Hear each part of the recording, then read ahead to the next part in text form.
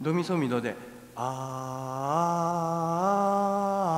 ー」ってこういう動きをしますあの123四をやるときね誰でもほら1234って言ったら「あああああ」になっちゃうけどテンポに乗りますと「あー」ってこうねこう前後するわけですよねブランコを乗せちゃう最初に押して1で押して2が戻ってきて3で押して4で戻るみたいに「あーあーあー」みたいなでこれが今四分音符が並んでです。ね。1234と。で今度はそれを今度はこの50音。これは北原白秋の詩ですけどもね。それは最初が「アメンボ赤いなあいうえお」これが一小節です。だからさっきのあ「あ」ああでやってる最初の「あ」ってやつがアメンボになって。次の「あ」って言ってるのが赤いなになってる感じですよね。そうすると「アメンボ赤いなあいうえお」浮きもに小エビも泳いでるで2小節になってる。でその時にアメンボは前ですよね。アメンボ赤いはほらブランコ戻る方だから。アメンボ赤いなあいうえあいうえがまた前にいておだけ難しいですよ。1個しかないから。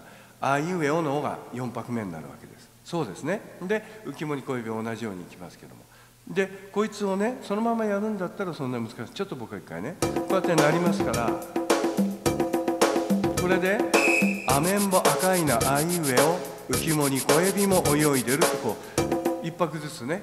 それアメンボが一拍赤いなが一拍あいうえが一拍で「お」が一拍それがブランコに乗ってるわけですよ。だから押したらば「アメンボ」って動いてって今度は赤いなが戻ってくる感じでしょうね。でこれをやるでしょ。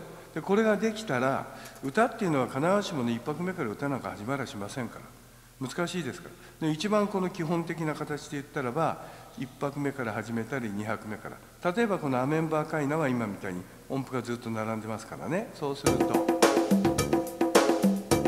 こう乗るとすると「アメンボ赤いなあいうえを浮もに小エビも泳いでる」こうなりますよね。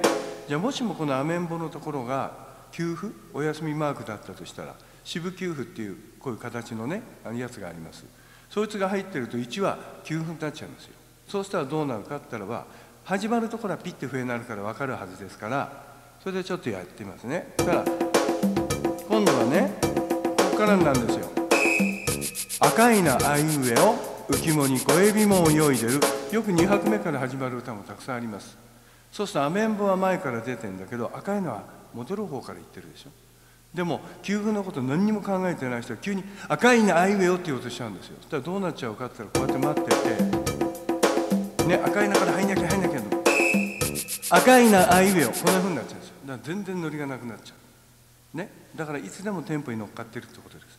だから給付がものすごく大事ってことになるんです。で今度は赤アメンボ赤いなが給付になっていた。二部給付ってやつがあるわけですね。その給付になっていて声出すのはあいうえおからだと。そうすると笛が鳴ったら一拍目ですからねこのここではね。あいうえお。浮きもに小エビも泳いでる。こういうふうに入んなきゃダメですよね。3拍目から入る歌もあります、ね、だからどっから入ったって給付をちゃんとテンポに乗せてればいいんですよ。でも給付って休む場所だと思って体が止まっちゃってたらどうしようもないぞと。そこもちゃんとねテンポに乗ってなきゃいけないってことです。そしたらどっから始まろうと。で一番難しいのがこの今のこれで言うと4拍目。あいうえの「お」しかないんですよ。ね、おが一拍だからね。そうすると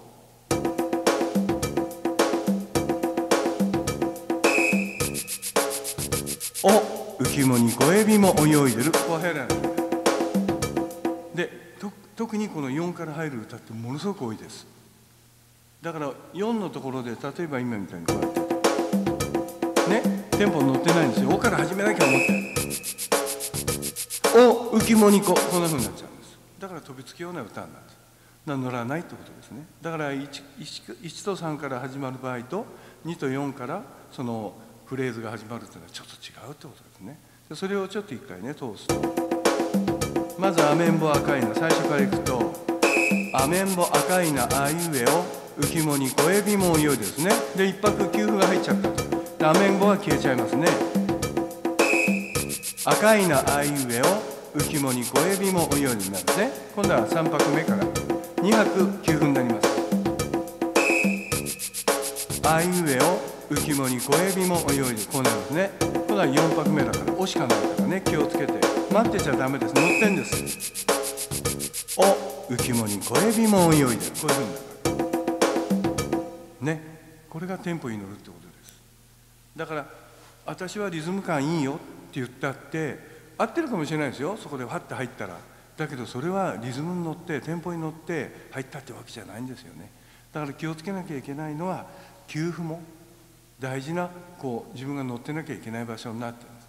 だけどテレビのカラオケなんか見てるとねそういうのがないからいきなりこうあ色が変わってあって飛びつくと大体飛びついてる形だから前から行っちゃうでしょうね。それが2拍目だろうと4拍目から始まろうと関係なくなっちゃう。そうすると逆転してますからアクセントが一切かかんなくなっちゃう。ってことですね。そうすると自分の口で何かやらなきゃと思って力が入って力んだりとか苦しくなっちゃうねそういうところだけ気をつけていくといいと思います